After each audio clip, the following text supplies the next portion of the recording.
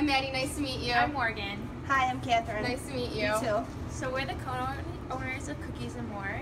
We just brought you here today to help us forecast our sales for next summer. Okay. Um, basically, when the students leave for the summer, our sales kind of drop. We kind of have a hard time forecasting the months of May to August, and that kind of gives us extra inventory and adds on to expenses. So we're trying to figure out a better way to forecast those months and be able to plan accordingly. Okay. So in the past, we've used the historical analogy to compare sales uh, to teaspoons and tamales, and that really hasn't worked well for us.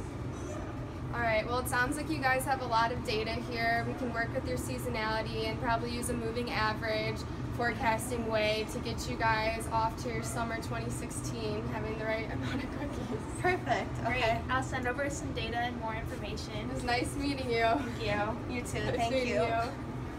All right, so we have all the data from the cookie shop, so we're gonna put it on this chart. So 4,900 for June, 6,100 for July, and 5,300 for August, all for uh, 2012. Uh, 2013, we have 5,000.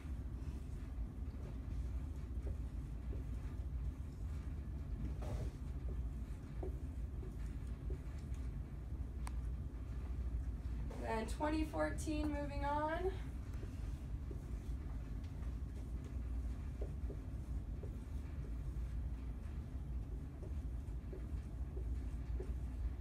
And last but not least, 2015.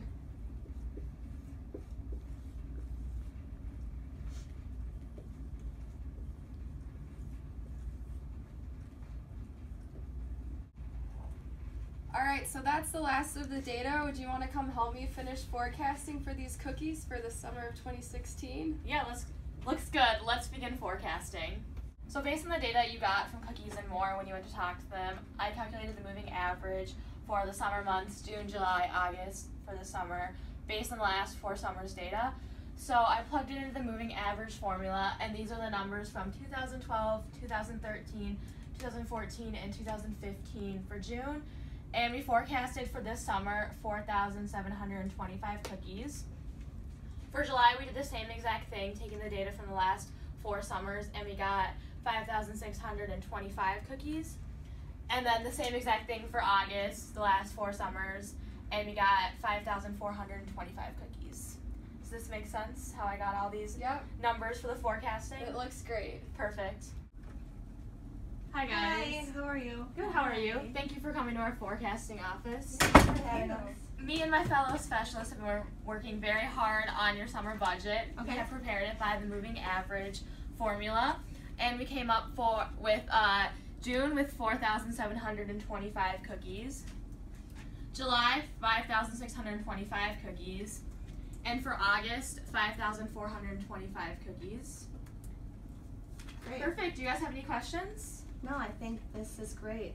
We really hope this helps you out and that you can more accurately forecast for the summer.